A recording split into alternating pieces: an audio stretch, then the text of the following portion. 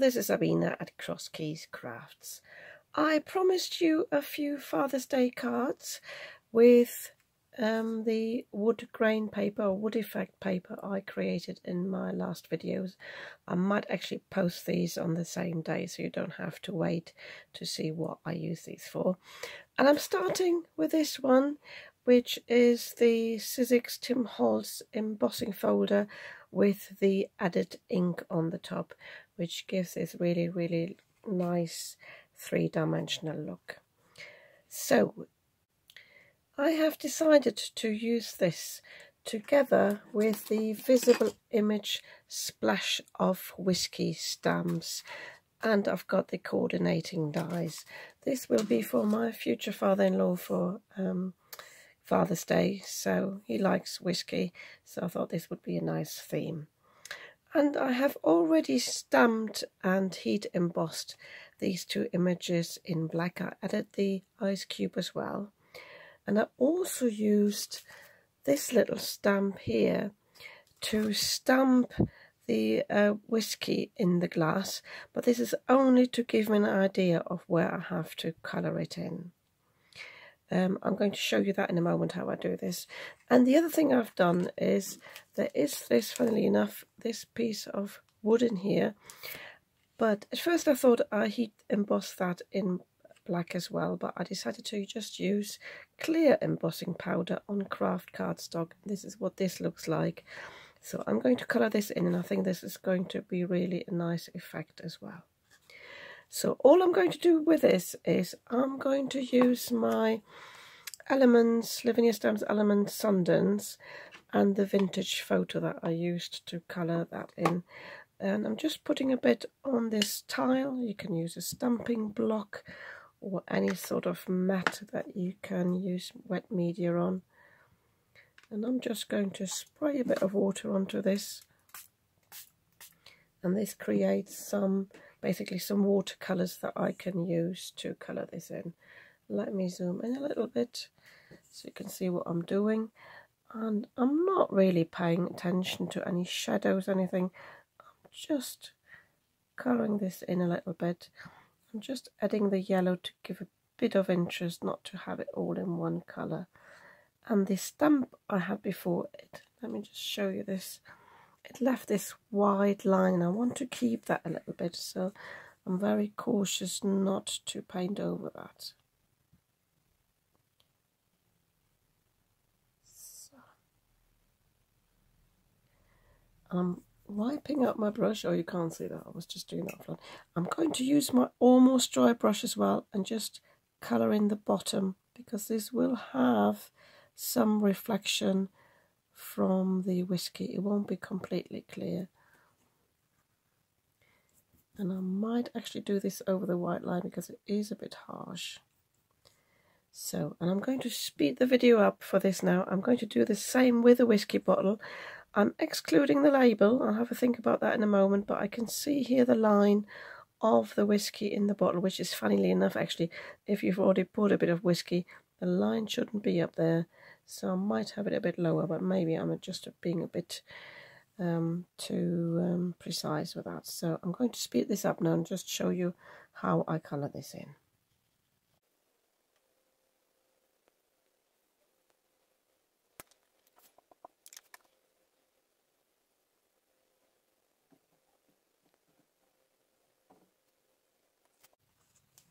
So I think this is enough. By the way, I'm not working on watercolour cardstock. This is just a heavyweight 300 GSM cardstock. So I'm actually have got a few fibres that got a bit, um, like a little bit speckled, but I think that's okay. So I think I will just find a colour to colour this in, and um, I'll be back in a sec. Okay, I decided to use this Lost Shadow. I haven't really used that before, but I think it might just give a nice little effect.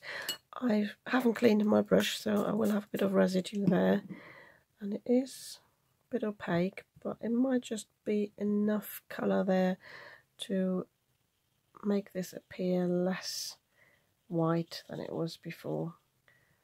So as before, I'm going to be a bit darker on this side and then just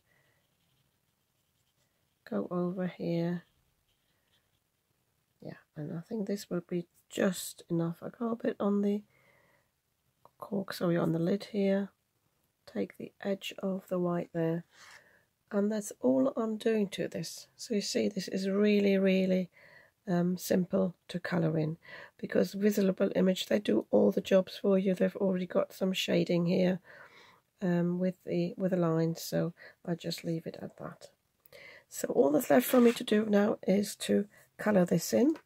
So I think I'm coming back with my um, vintage photo. I will actually use a bit of that as well just because I've got the water there. And again I think I'm just colouring this in. Very simple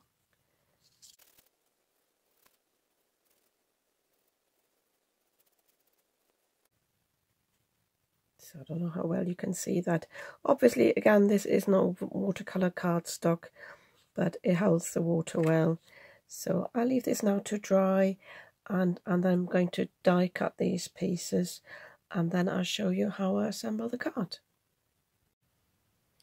Okay, so I have cut my uh, card base. This is just from an A4 piece of card. So I've cut this in half at 4 inches and then I just scored it in the middle and folded it at the full length. This is a top folding card. I cut the um, piece of embossed cardstock accordingly. This, unfortunately, I think this is an American size, so it is a bit wide and I had to cut it down quite a bit on the side here but I think this will do and I'm not losing too much of the effect. I also have off camera stamped this Happy Father's Day. A little tip for you, I don't know if you can see this, this is a bit speckled and so were these images because if you heat emboss with black embossing powder you can sometimes get the embossing powder, sometimes it sprays and it just flies around, especially if you put it on the higher speed to your embossing tool, so your heat tool. You can avoid that by sorry, by um, applying, sorry, by, by stamping in VersaFine uh, the black ink and then heat embossing it in clear. I have done that in other videos. Today I thought I'm not too bothered. I love the grungy look sometimes of these stamps. So if this is a bit speckled, I don't really mind. And I have just simply cut this out with one of my nesting dies, which, which gives this stitched look. And it had quite a good size for this. At first I thought about using a Father's Day die. Let me just show you this, which ignore the Christmas tree there. But this would be too too big to actually fit onto the card and I didn't want it to be too busy. But um, I find this is a bit harsh um, against the whole sort of card. So I would like to ink this up a little bit. And I also decided that this against the background gets a bit lost so I'm also inking this up as well now so and all I'm doing for that is I'm just using my ink blending brushes and for this piece now I'm actually using my Lavinia Stamps Elements Truffle. This is a bit darker than the vintage photo so this will give a nicer effect and although I had painted it nicely once it dried it didn't have the effect I wanted.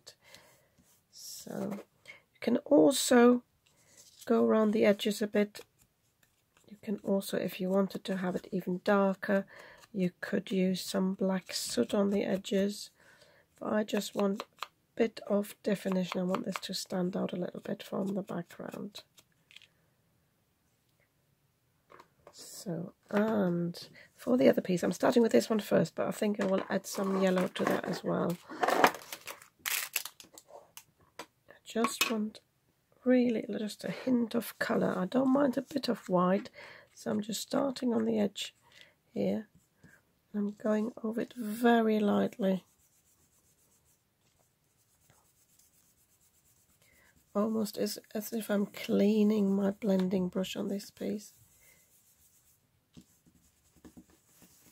Want a bit more yellow on the edge as if it's fading out. I think I put a bit more on the top. I hope you can see what I'm doing. I'm not always sure if my camera picks it up as well. So I've got a bit of a, like an ombre look and that will just be nice enough to take the edge of the white. But I'm also using a bit of the yellow on this as well, just in the middle. Just to give it a richer tone. So, and all that's left for me to do now is to glue these things down. It really depends on your preference, whether you're going to send the card in the post, you might want to keep it flat. I will just glue this down with my quick grab glue on the background and then I think I will pop these up on foam pads so just bear with me whilst I get those. So I've got my foam pads ready. I've also glued this down already and I've inserted or glued down a white panel on the inside as well which will strengthen my cardstock because my cardstock's not very thick. Be very generous when you glue down embossed papers because they naturally want to pop off in certain areas so you need to uh, put quite a bit of glue on the back. I used my Cosmic Shimmer Quick Grab Glue. I find this is the best one for the job. So with the uh, bottle and the glass and this panel here, because I know I want these to be on the same height or the same thickness, and I want these to sit like on this board, I'm going to glue these down first onto the board, and then I can put the um, pads on the whole of this back. So I'm just setting this down like this, pressing it down, Doing the same with the glass. Oh, sorry, I hope I'm not going off camera there.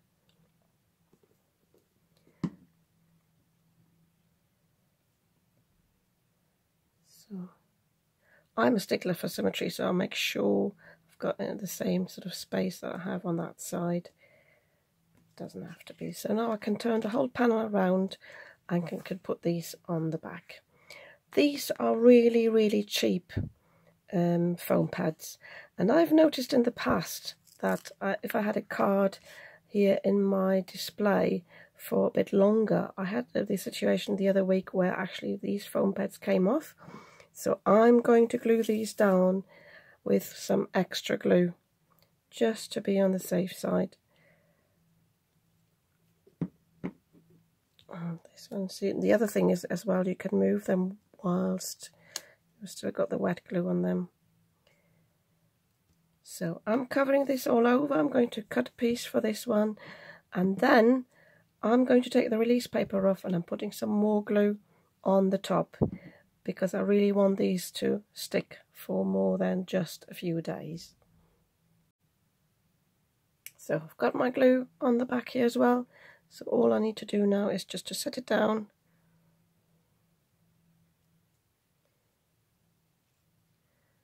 Once I've got it in the right place, I can press it down. And now I'm going to do the same with this one here. I will actually put the glue on the back of this one here first, so I don't forget to put it behind the foam pads, which is easy to do.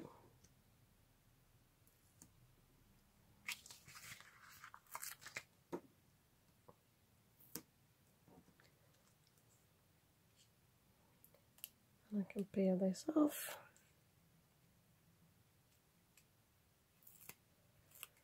And stick this down as well.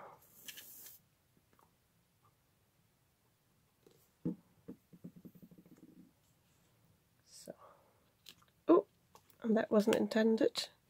Good thing is, because I've got the wet glue on there, I can remove it, and I think I might get away without having too much stickiness on there. If you ever got um, glue on a piece of cardstock and it doesn't show, it's just sticky, you can use your anti-static powder tool just to get rid of the stickiness, just wipe over it. So I was just hovering this over there to find the right balance. So I think that's the good place there. Yeah, and I think, yeah, can't see this there. Yeah, I think this is a really nice card. Quite simple to make actually. It doesn't take that long. and yeah could even be mass produced if you need a few more Father's Day cards if you sell cards so yeah I'm really really pleased with this one I'm going to make another card now because I promised you more than one Father's Day card so give me a, a quick moment to tidy up my desk and then I come back for my second card, I'm using the wood effect that I just created with the Salvage Patina and Vintage Photo uh, ink pad. And I just went across the piece of paper. I actually redid this because I needed slightly longer pieces. And I obviously had stopped here and only started there. So, but I'd used the same technique. And from this paper, I cut two strips. These are six inches by one inch. I have cut two pieces that are one inch by one and a half but I'll show you in a moment. It's up to you what length you have here. It depends on which gap you would like to have here. But what I didn't mention is I'm going to um, create a crate for the tools I'm uh, die cut.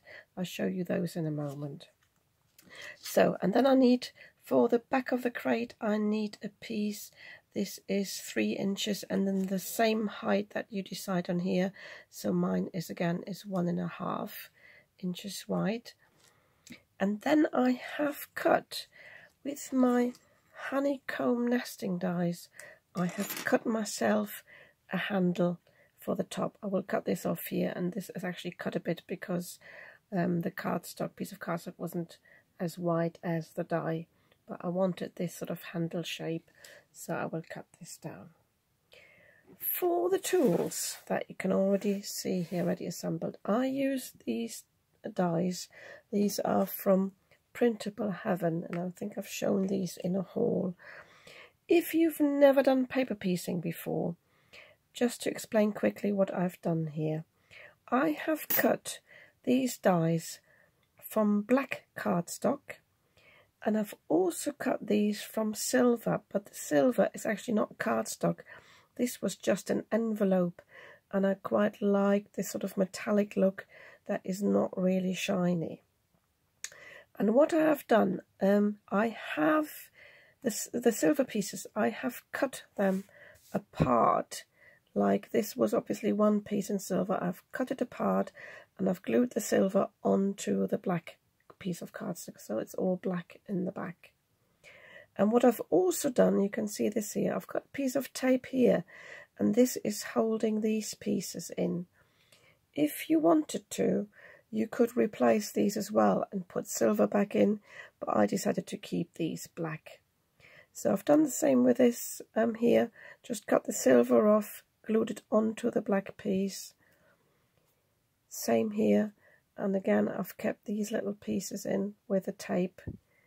By the way, the thicker the cardstock, the more likely they're going to stay in. With the silver, they came out straight away. With this one, I have actually, because the uh, black cardstock had fallen out, I have actually put the silver piece just in and um, glued this on because um, the the knife actually in a, a, crafting knife or cutting knife like this is actually inlaid so I quite like the effect of this. So um, I've already prepared this. I used my Collall glue to glue these on because you've got a bit of wiggle room and I left these to dry so I think these look really nice. And also these tools determined the size of my crate and the size of my card I didn't want the crate to be too big this by the way is inspired by a video by Sam Calcott. I'm going to link to that below. She created a crate for beer bottles, um, but she hers is much bigger. There's different um, measurements than mine. As I said, I wanted mine to keep mine small. So these strips now, you need to score these. So I've got my scoreboard here. So I've, I haven't unfolded it, I'm just leaving it double as it is. So you need to score these at a half and at one and a half. And then you just flip it around and you do this again. Half and one and a half. Doing the same with this one. As you can see, I actually had used the, the back of the cardstock I created earlier. So half, one and a half, half, one and a half. And all these are going to be mountain folds. So it's very simple, this card. And it's supposed to be a pop-up card. I hope it works as I've got it in my head. So these are these pieces. If you bothered, obviously you can ink them up from the back. I'm not too bothered. This will go at the bottom, so this will almost disappear. And these two pieces have the um, longer side facing upwards and you need to score these in the middle so this is at a half again. These will be the corner pieces.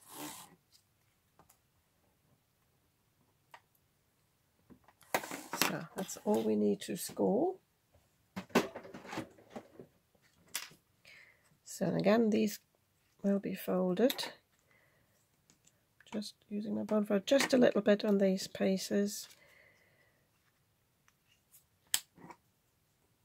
You can already see it's not right in the middle, but it doesn't matter for this card.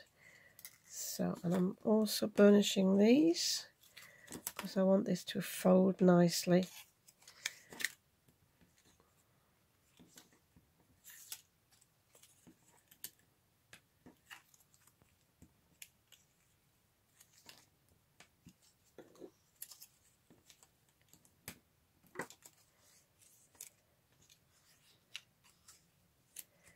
So, um, I'm just thinking which way around I'm going to do this. I think I will align these on my back piece because then I know that this uh, gap is the right thing. What I'm going to do is I'm going to glue the tabs behind this piece because then they will completely disappear. So I will glue this here and then the other tab I will just glue on the other side. And I'm doing the same with this one and if I have measured correctly I should have a little gap which I haven't. Why is that?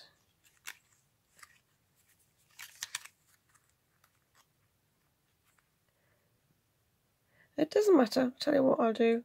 I might just take them a little bit apart. I have got a little gap but it's tiny. Oh yeah I have got a gap. I thought I measured wrong. So but that if you want this gap to be bigger um, if you've got bigger items in your crate, you um, can make this taller and then the same with the corner pieces. So I'm going to glue these down on either side and then I'm going to show you how to put the corner pieces on. I just realised I actually have to show you this step because um, you want this to fold properly. So I've glued this on here. I'm using my quick grab glue again, but you want to make sure when you glue this down that this is aligned with the back piece. And then to glue this down, you lay this flat, you put the glue on here, and then you just fold it here on this score line, just back like that. And this way you ensure that this will fold flat on the card later. So same again here.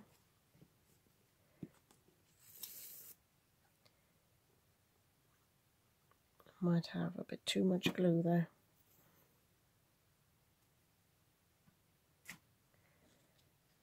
So, popping it on there.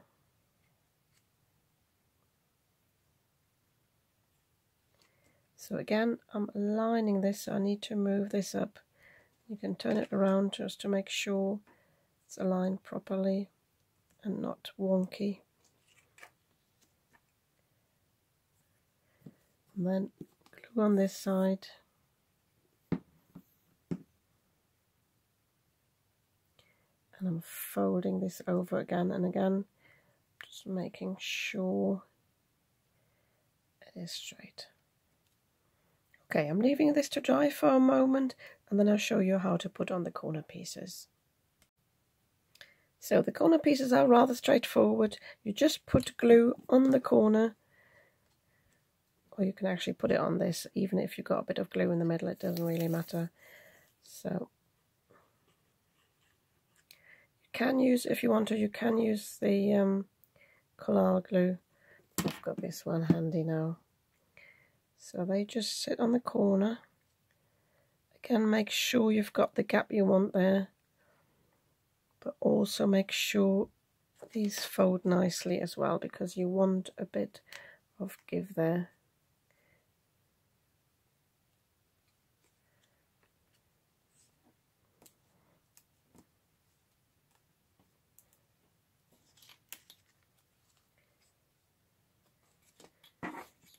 Make sure again I've burnished these properly.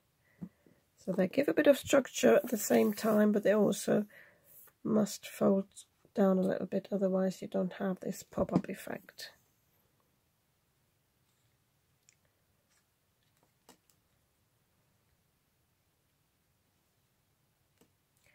So I'm bending in the other direction.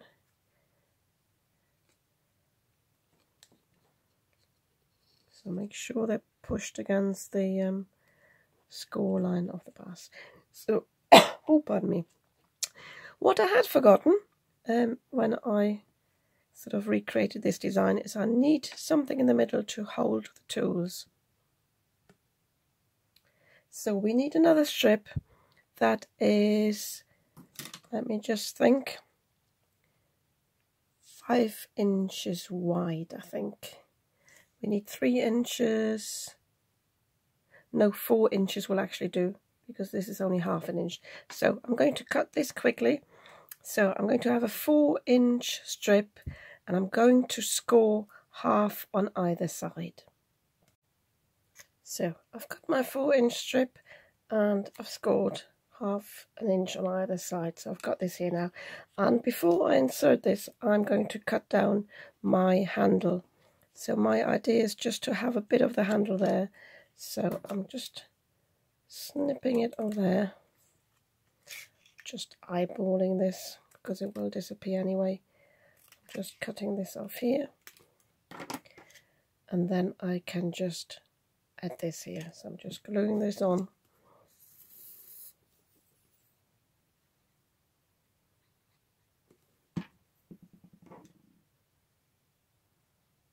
Making sure it's even on either side.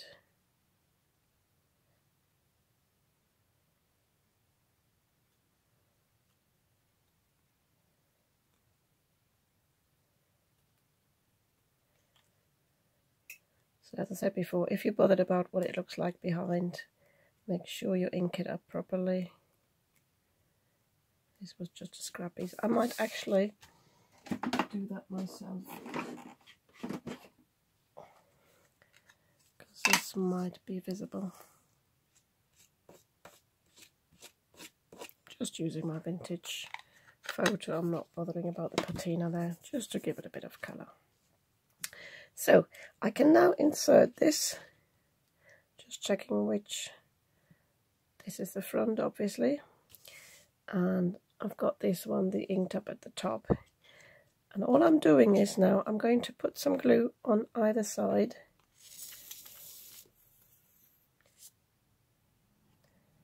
And I'm just popping it. Ideally, I would have done that before I glued the back on, but I just simply forgot. So I'm sitting this now in here. Again, it's up to you actually how high or low you want it, but ideally I have it on the same level as the top um, top bit here because then it doesn't peep through the hole there. And all I'm doing is, is I'm resting it against the back because then I will have the same distance between the front and the back. Hope you can see what I'm doing. So, and again, I'm just checking that it actually folds down. So I'm pressing it this way and I'm pressing it that way. And this one now gives me a funny, funny angle. See what I've done there. So have a look if I can peel that off again. If not, it doesn't matter because I know who I'm giving this to. This will be for my fiance from my cat. My cat sends greeting cards. So I might just leave it. So it might actually be an idea. Don't do what I did. I will put a disclaimer in. Don't have it as a corner piece. have just one strip here and one strip here, just half an inch wide. So I regret not gluing this on. I think Sam Calcott had corner pieces, but maybe she had thinner cardstock. But yeah, I can't remedy this now unless I cut it open, so I'll leave it at this. So, what's left to do for me is now to insert these tools.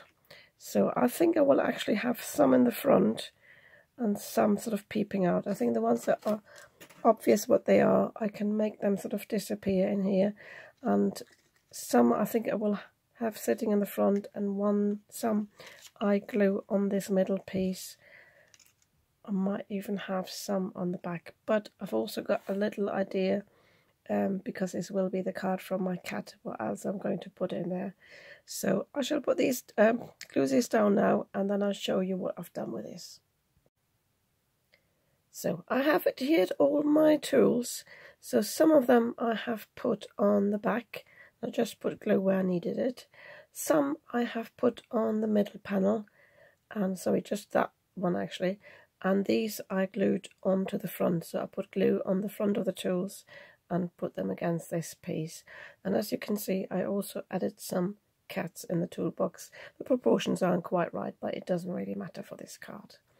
So in the meantime, I have also cut my card base. I decided for a top folding card. This is 6 by 4 inches, cut from an A4 piece of cardstock.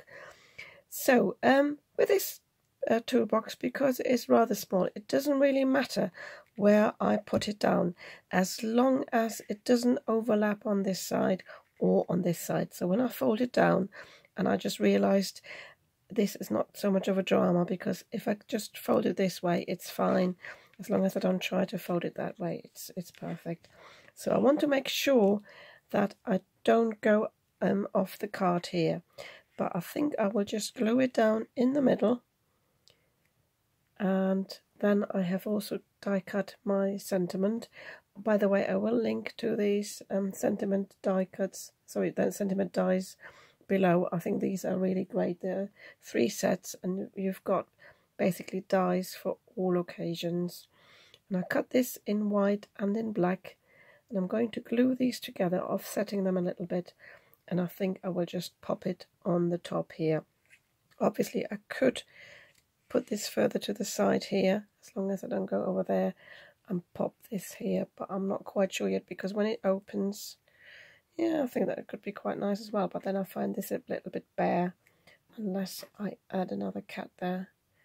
I'll have a little think and I'm just going to show you the card in a moment. So I went for the middle in the end. I do like my cards symmetrical. So just pop this down now here. And yeah, it's fold sideways. So this will fit into a 4x6 envelope. And set it up like this and display it. Yeah, I think this looks really nice. Um, if you like these cards, oh by the way, that was the first one. If you like these cards, you might want to give me a thumbs up. And if you would like to see more of what I'm creating, you might want to subscribe to my channel. I'd be very happy about that. And I'll see you soon with another video.